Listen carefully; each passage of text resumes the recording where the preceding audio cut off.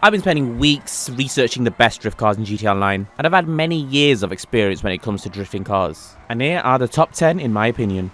Now the Nebula Turbo just about makes it on this list. It's still a really good drift car, it's just all the cars are good at drifting on this list. The Nebula Turbo is a really good controlling car, but it's just slow. It's like, I need to fast forward the footage for it to be entertaining.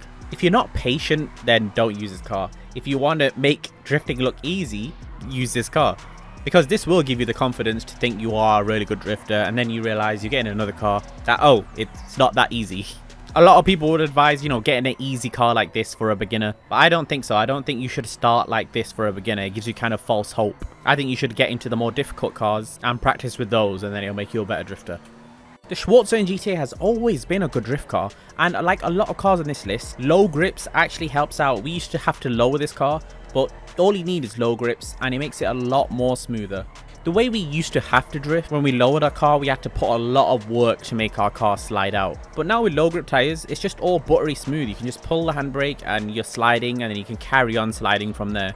Before you had to pull the handbrake and then accelerate fully or double clutch. But no, with this you can get some smooth drifting. And I would say it's a slow to medium pace drifter. And you know, you can get it off the street, it's free, so why not? Especially with all these new modifications. I say new modifications, they released one and a half years ago, but for the age of GTA 5, it's relatively new. The Remus. The Remus is an interesting one because I thought it would be a lot higher on the list. And that thought comes from when this car actually came out, it was the best of the tuners cars, drift cars, and that's the only cars you could put low grips on. But now that you can put low grips on a lot more cars, there are a lot more cars that are better than this car, in my opinion. The Remus, a lot of drift crews use it. To be fair, I'm not sure about today because now they have unlocked low grips for everything. One, but the Remus is a car that seems like it was actually suited for low grips, which it probably was. You can do low speed drifting, high speed drifting, if you could call it high speed drifting. There's no shame in yanking the handbrake again and again.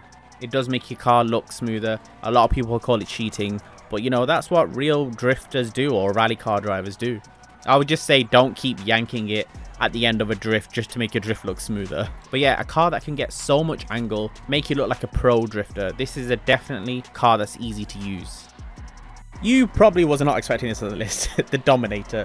The Dominator, just because it has so much low down torque, there are actually a few muscle cars in the game that are really good at drifting. And I'm pretty sure someone's going to comment a muscle car. I've, I've tried nearly all muscle cars now. I'm, I'm so exhausted, but someone's probably going to comment one that's better than the Dominator. I know the Faction is very good also, but the Dominator, I love it because it reminds you that it's a muscle car. Every time you touch the handbrake or you get a certain angle or you grip up a bit more, you know it's a muscle car instantly because of how rigid it is. And you can see the, car just wobble. And I think that's attention to detail that sometimes we forget in GT Online. The difference between sports cars, muscle cars, supercars and the Dominator is like a sporty muscle car as well. So even with low grip tyres it's quite manageable when you're driving normally with low grip. The low end torque makes this car so good at drifting.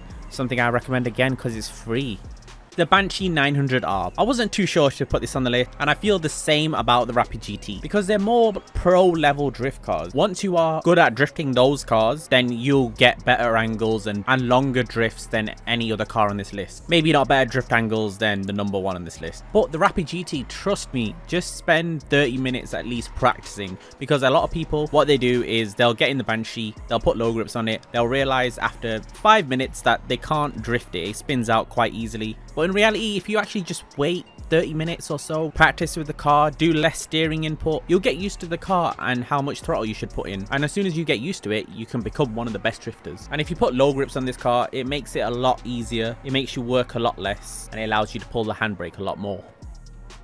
The Sentinel? Like, why the Sentinel? It seems like we're getting a lot of first gen cars in this list. I don't know what the correlation is. I don't know why. I'm not going to suspect anything from it. Just a Sentinel XS, not HSW by the way. This is not a HSW car. Sentinel XS just feels natural with low grip tires. I, I don't always like the fact that this was supposed to be like a 3 Series or a BMW and you had to work hard to get it to oversteer. But once low grip tires came out, I mean it came 9 years later, but it definitely awakened this car. This car is now like just a classic it feels better with low grips on it. Not the HSW version, that's just got too much power. I was drifting this more earlier into when I started testing these cars and I thought this was going to be at the top. It feels so easy and feels so natural. But no, we've got cars that are better than this. The Mamba, another rewarding car. A car that I wouldn't say is easy to drift. A lot of people who already have this car and drive it quite regularly know it's a car that you need to fight with. Like it is very oversteery at a natural state. So you'd think with low grip tires, it would make it impossible to drive. But no, it's actually possible. It's actually a very good drift car. And that's why it's high up on the list. Just seeing those thick tire marks behind you, just knowing what this car is based off, it brings so much satisfaction. You know, I definitely wouldn't say looks natural to drift, but it feels great.